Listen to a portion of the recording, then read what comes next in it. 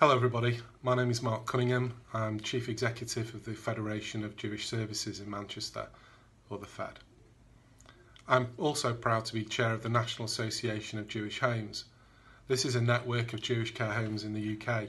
Homes as far south as Bournemouth and as far north as Glasgow, covering every major community in between. We're the custodians of what I believe to be the community's greatest assets, our care homes and the wonderful people that live and work in them. Many of the Jewish communities' care homes were established in the 19th century, and we have been at the forefront of providing excellent residential and nursing care to generations of people. Our care homes have been established over the decades by passionate and committed donors and individuals, people who have the foresight, drive, and compassion to ensure that for the oldest and most vulnerable members of our community, there will always be a Jewish care home when they need it most.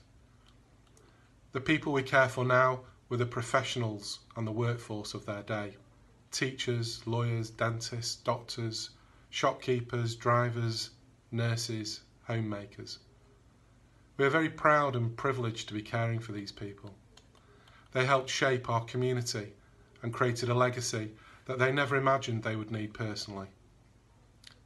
The Jewish care homes across the UK need your help to continue this legacy.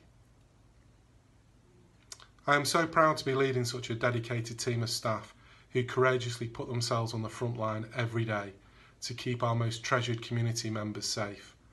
They leave their own families to care for yours, putting the needs of the community first. The Fed's Heathlands Village has faced great challenges over the last few weeks, and we know that things will continue to be tough for many weeks ahead.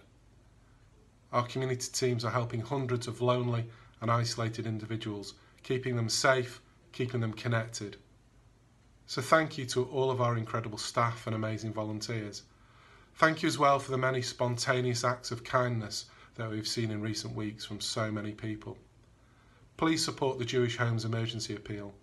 You will find a link along with this message. Extraordinary times do demand an extraordinary response. Whatever you can give will make a difference.